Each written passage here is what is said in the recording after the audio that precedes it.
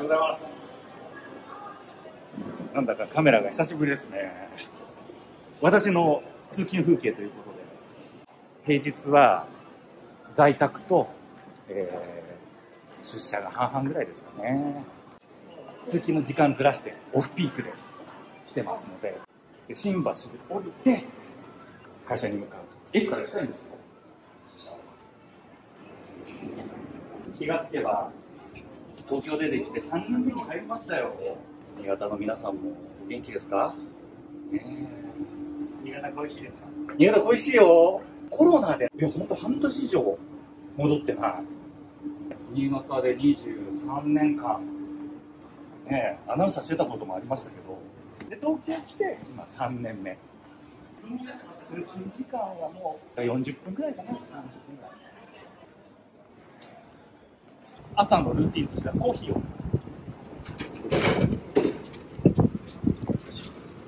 リズムがありますね。新橋駅すぐ目の前なんですよ、新橋。で、ちょうど、あ、見えるかな。これ左上に見えるのが日テレですね。ズームイン朝とかやってましたから。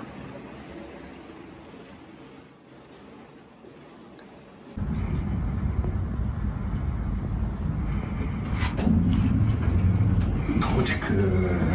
今ね本当東京まだまだね。こちらどうぞ。ミニ特急車です。ポスターもねいっぱい貼ってあって。あ。るじゃないですか新潟一番。ねえ。内田君頑張ってますかね。ねえいいですね。コーヒーを飲みながら。仕事を始めると。ここから一日がスタートします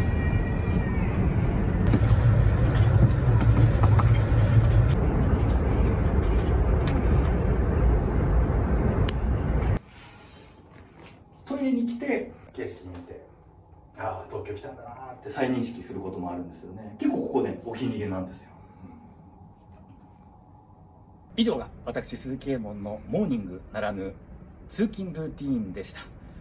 え新潟の皆さん私今東京で頑張っております。そんな私ですが10月2日新潟一番25周年番組で久しぶりに登場するということです十数年ぶりになりますけれどもぜひ皆さん楽しみにしていてください。